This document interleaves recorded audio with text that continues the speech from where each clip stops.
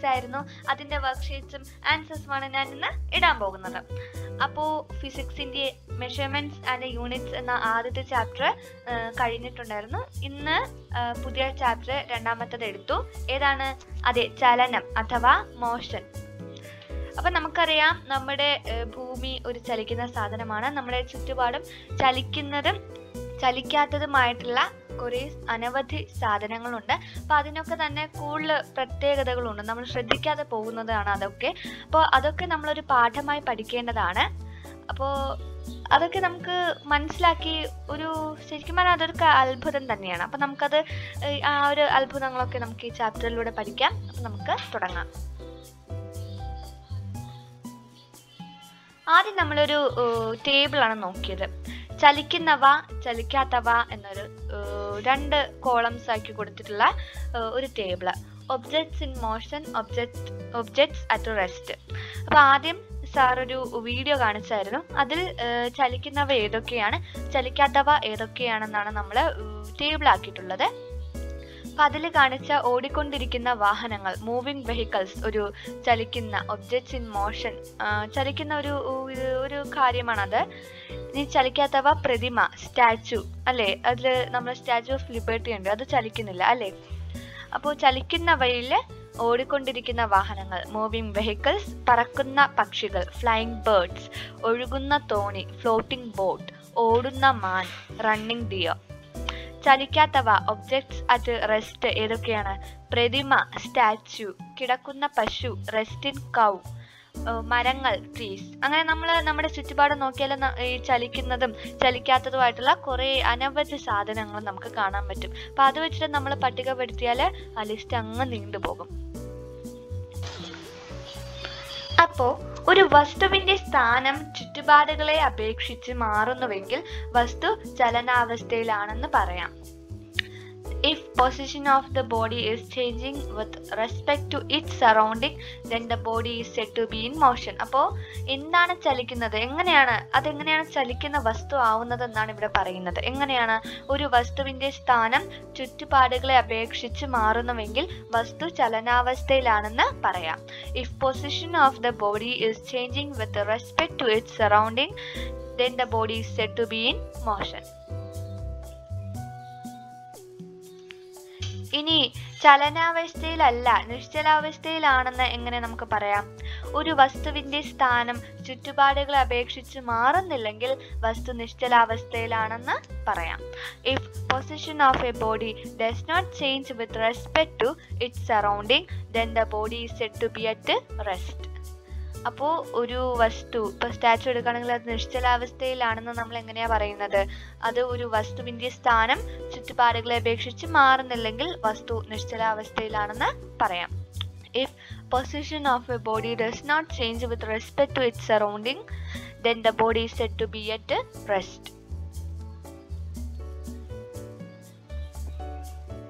ഒരു വസ്തുവിന്റെ ചലനാവസ്ഥയോ നിശ്ചലാവസ്ഥയോ പ്രതിപാദിക്കാൻ നാം ഏതൊരു വസ്തുവിനെയാണോ അടിസ്ഥാനമാക്കി എടുക്കുന്നത് ആ വസ്തുവാണ് അവലംബക വസ്തു. Reference body is the object with respect to which the state of rest or motion of an object is described അത് നമ്മൾ കുറേ എക്സാമ്പിൾ കണ്ടതാണ് അല്ലേ? ഒരു വസ്തു നമ്മൾ അപേക്ഷിച്ച് എന്ന് പറയുന്ന ആ ഒരു വസ്തു ആണ് ഇവിടെ അവലംബക വസ്തുവായിട്ട് വരുന്നത്. അപ്പൊ അതിന് അതിന് ഒരു വലിയൊരു സ്ഥാനം തന്നെ ഇതിൽ ഉണ്ട്.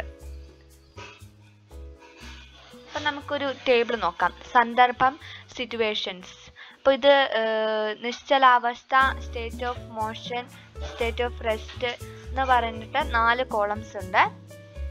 ഓടിക്കൊണ്ടിരിക്കുന്ന ഒരു സിറ്റുവേഷൻ നമുക്ക് നോക്കാം കേട്ടോ അപ്പോൾ ഓടിക്കൊണ്ടിരിക്കുന്ന ബസ്സിലെ യാത്രക്കാരൻ a passenger in a moving bus അത് ബസ്സിനെ അപേക്ഷിച്ച് നിശ്ചലാവസ്ഥയിലാണോ അതോ നീങ്ങിക്കൊണ്ടിരിക്കുകയാണോ? With respect to the bus is it in a state of rest or state of motion ഇനി റോഡിനെ അപേക്ഷിച്ച് with respect to the road അതെങ്ങനെയാണ്?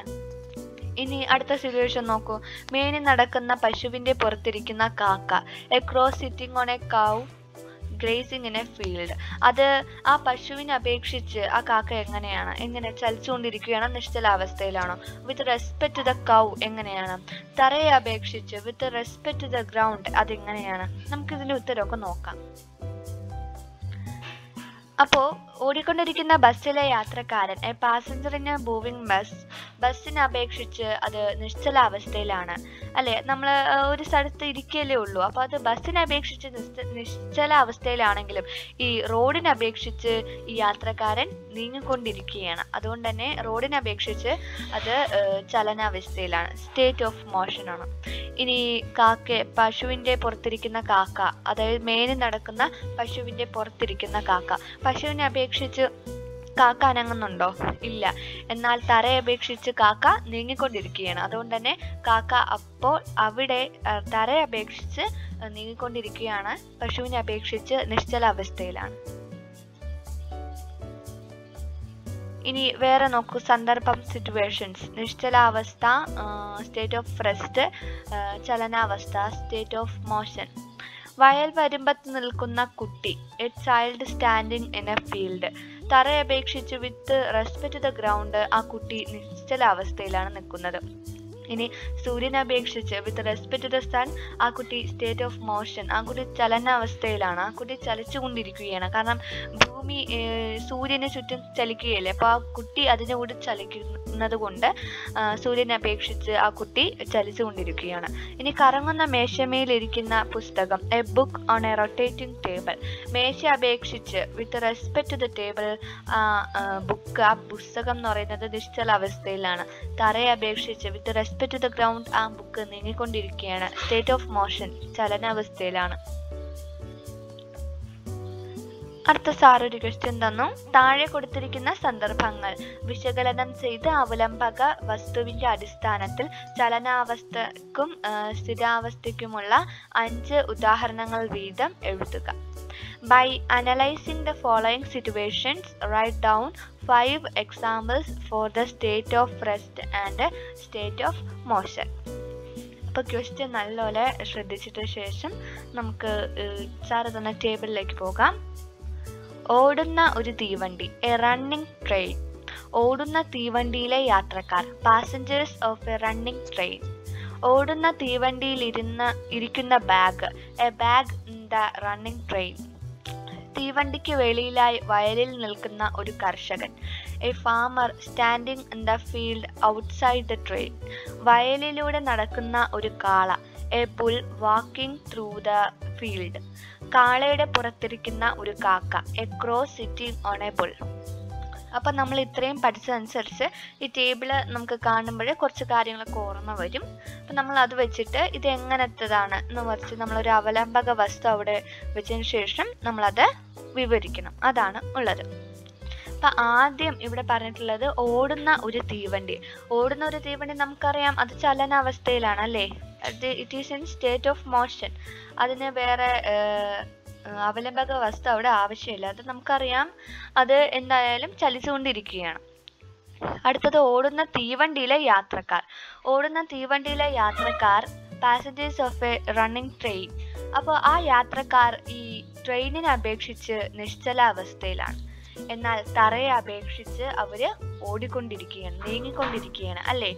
അപ്പോൾ ഈ ട്രെയിനിനെ അപേക്ഷിച്ച് പാസഞ്ചേഴ്സ് അവിടെ നിശ്ചലാവസ്ഥയിലാണ്. സ്റ്റേറ്റ് ഓഫ് റെസ്റ്റിലാണെങ്കിൽ ഈ തറയെ അപേക്ഷിച്ച് അവർ നീങ്ങിക്കൊണ്ടിരിക്കുകയാണ്. സ്റ്റേറ്റ് ഓഫ് മോഷനിലാണ് ഇനി ഓടുന്ന തീവണ്ടിയിൽ ഇരിക്കുന്ന ബാഗ് ആ ബാഗ് ഇതേപോലെ തന്നെ ട്രെയിനിനെ അപേക്ഷിച്ച് അല്ലെങ്കിൽ യാത്രക്കാരെ അപേക്ഷിച്ച് ആ ബാഗ് നിശ്ചലമാണ്. എന്നാൽ തറയെ അപേക്ഷിച്ച് ആ bag നീങ്ങിക്കൊണ്ടിരിക്കുകയാണ്. So a bag in the running train ആ ട്രെയിനിനെ അപേക്ഷിച്ച് ആ ബാഗ് അതെ നിശ്ചല അവസ്ഥയിലാണ് എന്നാൽ തറയെ അപേക്ഷിച്ച് ആ bag നീങ്ങിക്കൊണ്ടിരിക്കുകയാണ്.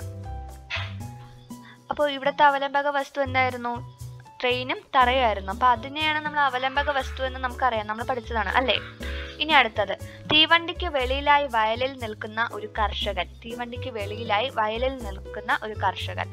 A farmer standing in the field outside the train അപ്പോൾ ആ വയലിനെ അപേക്ഷിച്ച് ആ കർഷകൻ അതെ അവിടെ നിശ്ചലമായി നിൽക്കുകയാണ്. നിശ്ചലമായി നിൽക്കുകയാണ്. എന്നാൽ ഭൂമിയെ അല്ലെങ്കിൽ സൂര്യനെ അപേക്ഷിച്ച് ആ കർഷകൻ നീങ്ങിക്കൊണ്ടിരിക്കുകയാണ്. കാരണം എന്താണ്? ആ ഭൂമിയുടെ ചലനം തന്നെയാണ് അല്ലേ? അപ്പോൾ അതാണ് അവിടെ വരുന്നത്. ഇനി വയലിലൂടെ നടക്കുന്ന ഒരു കാള. വയലിലൂടെ നടക്കുന്ന കാള a walking through the field അത് നമുക്ക് അവിടെ തന്നെ അറിയാത്ത സ്റ്റേറ്റ് ഓഫ് മോഷനാണ് നമുക്ക് അവിടെ വേറെ അവലംബക വസ്തു ആവശ്യമില്ല. കാരണം അവർ സ്റ്റേറ്റ് ഓഫ് മോഷനിലാണ് കാള ഉള്ളതെന്ന് നമുക്ക് ചലിച്ചുകൊണ്ടിരിക്കുന്നതാണെന്ന് നമുക്ക് മനസ്സിലാവുന്നുണ്ട്. ഇനി ലാസ്റ്റ് കാളയുടെ പുറത്തിരിക്കുന്ന ഒരു കാക്ക. എ ക്രോസ് സിറ്റിംഗ് ഓൺ അപ്പൊ ഇവിടെ കാക്ക കാളെ അപേക്ഷിച്ച് നീങ്ങുന്നുണ്ടോ? ചലിക്കുന്ന അവസ്ഥയിലാണോ നിശ്ചല അവസ്ഥയിലാണോ? അതെ നിശ്ചല അവസ്ഥയിലാണ് അല്ലേ അവിടെ അനങ്ങാതെ കാളയുടെ പുറത്തിരിക്കുകയാണ്. എന്നാൽ തറയെ അപേക്ഷിച്ച് കാക്ക ഈ ഒരു സ്ഥലത്ത് ഇപ്പോൾ നിൽക്കുകയാണെങ്കിൽ നോക്കുമ്പോഴത്തേക്കും മറ്റേ സ്ഥലത്ത് കാക്ക എത്തി. പക്ഷെ കാക്ക അനങ്ങുന്നില്ല. കാരണം കാളയുടെ പുറത്തായിരുന്നു. അപ്പൊ കാളയെ അപേക്ഷിച്ച് കാക്ക എന്തായിരുന്നു? കാക്ക നിശ്ചലമായ സ്റ്റേറ്റ് ഓഫ് റെസ്റ്റിലാണ് ഉള്ളത്. എന്നാൽ തറയെ അപേക്ഷിച്ച് കാക്ക ചലിച്ചുകൊണ്ടിരിക്കുകയാണ്.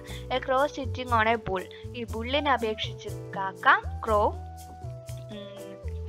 നിശ്ചലമായി നിൽക്കുകയാണ്. സ്റ്റേറ്റ് ഓഫ് റെസ്റ്റിലാണ് എന്നാൽ തറയെ അപേക്ഷിച്ച് ക്രോ സ്റ്റേറ്റ് ഓഫ് മോഷനിലാണ് ഓക്കെ അപ്പോൾ ഇത്ര ഉണ്ടായിരുന്നുള്ള ഇന്നത്തെ വീഡിയോ നിങ്ങൾക്ക് ഈ വീഡിയോ ഇഷ്ടമായെങ്കിൽ പ്ലീസ് എന്റെ ചാനൽ സബ്സ്ക്രൈബ് ചെയ്യുക. കൂടുതൽ വീഡിയോസിനായിട്ട് അടുത്താണ് ബെലേക്ക് നിൽക്കാൻ മറക്കരുത് ലൈക്ക് ചെയ്യാനും ഷെയർ ചെയ്യാനും മറക്കണ്ട. അടുത്ത വീഡിയോയിൽ വീണ്ടും കാണാം. അതൊരിക്കും ബൈ ബൈ